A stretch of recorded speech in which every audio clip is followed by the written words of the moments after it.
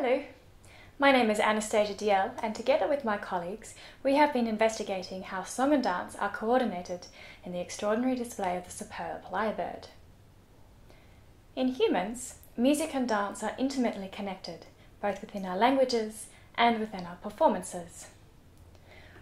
Music and dance are often coordinated, and one way we do this is by dancing different movements to different songs. For example, we waltz to waltz music but we salsa to salsa music.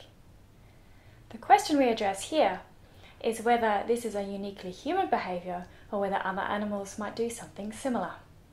Superb lyrebirds live in the majestic tree fern filled forests of southeastern Australia. They are very large songbirds, they weigh approximately one kilogram, and they spend most of their lives on the ground. In lyrebirds, the females are very independent. She alone will raise a chick and build the nest and defend her territory from other females. The male has no parental duties. All he has to do is to impress a female or many females, and male lyrebirds are indeed very impressive. First of all, lyrebirds look fantastic. They have a lovely long tail that they invert over the top of their heads during displays. Despite their beauty, lyrebirds are most famous for their vocal abilities. They are accomplished mimics, mimicking uh, many different sounds, but mainly the songs and calls of other species of bird. They also have an intriguing song and dance display, and this display is crucial for male lyrebirds. When females are fertile and ready to mate, they will visit males on their territory. If a female likes a male, she will mate with him immediately following his dance. I'm now going to take you through the song and dance display itself. The first surprising thing about this display is that despite the fact that lyrebirds have a repertoire of different song types, numbering well over a hundred, when they dance, they sing just four different songs. I'm going to play you each of those songs, and while I play the songs, I'm going to show you a sonogram, which is a pictorial representation of sound. It's a little bit like a musical score. You have time measured on the x-axis, and on the y-axis is frequency, which is like a measure of pitch.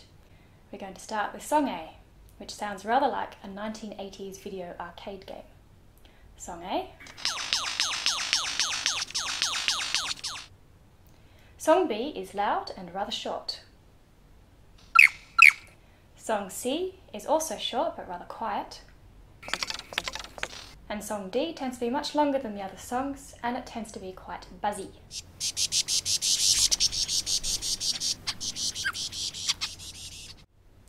The next thing we discovered is that lyrebirds structure their song and dance displays in a very particular way. They usually begin their displays singing song type A, they then alternate between song types B and C. There's usually a recapitulation of song type A before they finish their song and dance displays with song type D. This sonogram shows you a typical lyrebird song and dance display.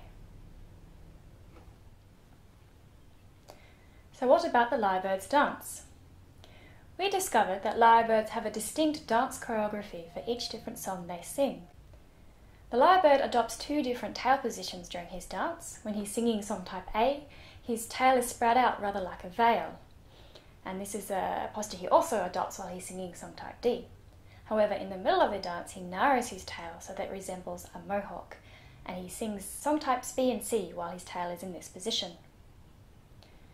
Looking at the lyrebird's uh, legs and feet, when he's singing song type A, he usually walks sideways, and this is rather like the grapevine step in human dances. While singing song type B, he's usually still, but it all happens in song type C. The lyrebird jumps or bobs, and he flaps his wings. Once again, he's usually stationary for song type D. Just like humans, lyrebirds are performing different dances to different songs.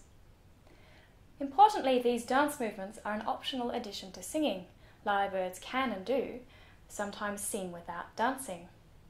This observation and the fact that lyrebirds sometimes appear to make mistakes by dancing the wrong type of movement to the wrong type of song suggests that coordinating song and dance can be challenging for lyrebirds, just as it can be difficult for us humans.